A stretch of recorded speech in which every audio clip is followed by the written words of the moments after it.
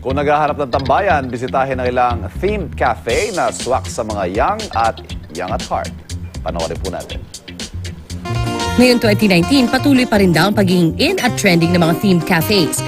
Kaya aming bibisita ang ilang cafes in the metro na tsak bubusugin pati ang inyong mga mata at isipan. Patok sa mga young at young at heart ang isang themed cafe sa Makati. Konnichiwa, ni hao, mabuhay! Pagpasok pa lang, sasalubong na ang photo wall ng mga anime characters na kinalakihan ng marami. Hilig kasi namin mababarkada yung anime. So, to cater the millennials and the urban achievers na after ng work nila, punta sila dito parang throwback na rin to their childhood. Kaya binabalik-balikan daw ng mga millennials na nais mag-chillax katulad ng magkakaibigang Sabrina, Robin, Cariza, Zaira at Ian. Dahil sa food. Ah, nag-enjoy kami. Yung vibe ng place. Chill dito. Yung ambience. Bukod sa picture-picture, maaari ring magbasa. O di kaya maglaro ng board o virtual reality games.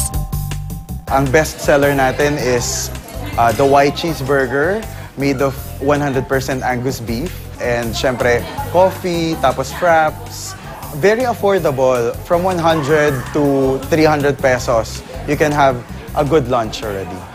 Haven naman kung ituring ng mga superhero fans ang isang cafe sa Mandaluyong. Mula sa interior, decor, maging ang menu, inspirasyon ng mga sikat na karakter at kaganapan mula sa DC Comics.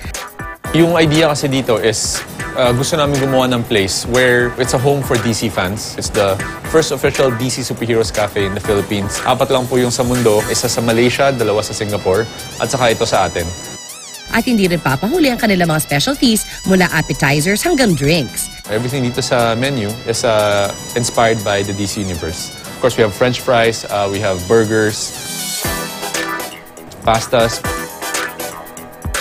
pizzas. One of our best sellers is the pork belly.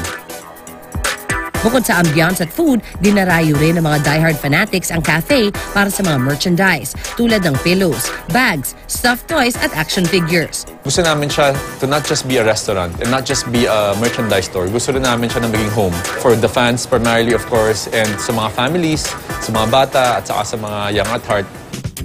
O mga kapuso, subukan ang mga latest food and gaming cafes na ito sa susunod ninyong bonding. Happy morning!